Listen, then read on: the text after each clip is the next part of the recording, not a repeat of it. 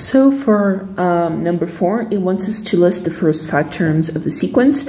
And so we're just going to evaluate this sequence with the first five natural numbers because all sequences are evaluated in natural numbers. So we have here that A1, and whenever we see n, we're going to plug in 1. So it's going to be 3 to the power of 1 over um, 1 plus 2 to the power of 1. And, um, and so this gives us, let's see, 3 over 3 over 3, which is equal to 1.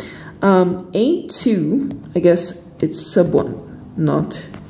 A2 is equal to 3 to the power of 2 over 1 plus 2 to the power of 2. And so this is going to give us, let's see, 9 over 5. A3 is going to be 3 to the power of 3 over 1 plus 2 to the power of 3. Um, and so that is going to give us, let's see, that is um, 27 over, over 9, which is equal to 3. For A4, we're going to have 3 to the power of 4 over 1 plus 2 to the power of 4, so that's going to be 81 over um, 17. And lastly, for A5, we're going to have 3 to the power of 5 over 1 plus 2 to the power of 5.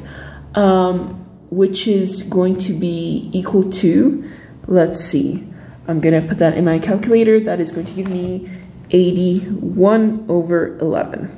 And so when we uh, put all these together, AN for the first five terms is going to be uh, 1 9 fifths, 3 81 over 17, and 81 over 11.